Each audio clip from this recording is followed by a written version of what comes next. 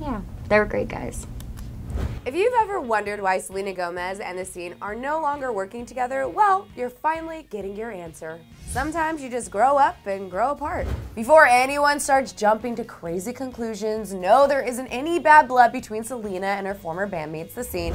In fact, Sel revealed in an Ask Me Anything chat that the reason why she decided to part ways with the band was simply because she was ready to do her own thing. She first started off by explaining why she decided to pair up with The Scene during the beginning of her singing career, Selena said, quote, that to me was a very specific time in my life. I think if you're 14, 15, 16, and you're trying to sing about situations in life that you haven't experienced, I don't really know if that qualifies you as an artist, if I'm being honest with you. For me, that was a very I think it was me exploring where I wanted to go, what I wanted to do, and it helped me to have people that were older around me that helped guide me and inspired me and pushed me. And then there's a moment where I felt like I could do it and I wanted to try it on my own. Even though Sel and the scene haven't worked with each other since what seems like forever, it's very clear that there's no animosity between the singer and her old bandmates.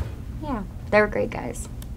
Obviously, Selena has moved on from that moment of her life, and the group has been on an indefinite hiatus since 2012. But who knows? Maybe Selena Gomez and the scene can reunite for old time's sake.